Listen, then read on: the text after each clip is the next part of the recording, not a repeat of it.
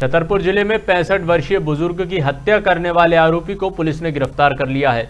बता दें कि गड़ी मलहरा कस्बे के वार्ड क्रमांक 12 चतुर्भुज मोहल्ले में रहने वाले पैंसठ वर्षीय बुज़ुर्ग की उसके ही पुत्र ने खटिया के बेड से पीट पीट कर हत्या कर दी थी और इस घटना के बाद आरोपी पिता की टैक्सी लेकर बाज़ार में पहुँच गया। वहीं जब मृतक पूरन रैकवार के छोटे बेटे ने आरोपी नरेंद्र रैकवार को पिता की टैक्सी लिए हुए देखा तो उन्हें इस घटना की जानकारी लगी। इसके बाद उसने पुलिस को सूचना दी। सूचना मिलते ही पुलिस ने आरोपी को राउंड अप करके लुगासी रोड से गिरफ़्तार कर लिया है। जानकारी के मुताबिक पुलिस ने पंचनामा कार्रवाई के बाद शव को पोस्टमार्टम के लिए महाराजपुर भिजवाया है और आरोपी के खिलाफ हत्याओं की धाराओं में मामला दर्ज करके कार्रवाई शुरू कर दी है। छतरपुर से मुकेश भार्गव की रिपोर्ट। ना, ये हो गई कि अब हम तो रहते थे वार्ड नंबर ग्यारह में काली माई मोहल्ला में। और जो हमारे पिताश्री हैं वो रहते थे वार्ड नंबर बारह चतराभुज मोहल्ला में। जी।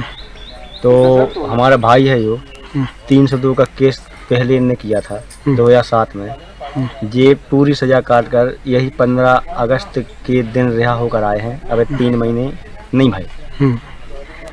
और ये दोनों साथ में रहते थे। पिताजी रहते थे बड़ा भाई साथ में रहता था।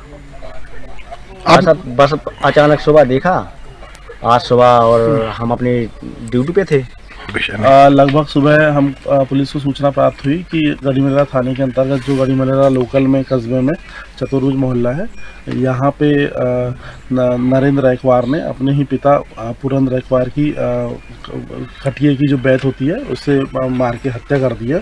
तो प्राथमिक जाँच में हम लोगों ने पहले तो आरोपी को गिरफ़्तार कर लिया है। आरोपी पूर्व में भी एक तीन सौ दो के हत्या के अपराध में जेल जेल काट के आ चुका है। और आतन अपराधी है, कुछ और भी अपराध उसके ऊपर है। और इसी संदर्भ में फिर पुलिस अधीक्षक महोदय के निर्देशन में हम लोगों ने यहाँ पे टीम आई हुई है। एफएसएल अधिकारी आए हुए हैं डॉग स्क्वाड टीम वगैरह आई हुई है। अभी इसकी हम जाँच पड़ताल कर रहे हैं।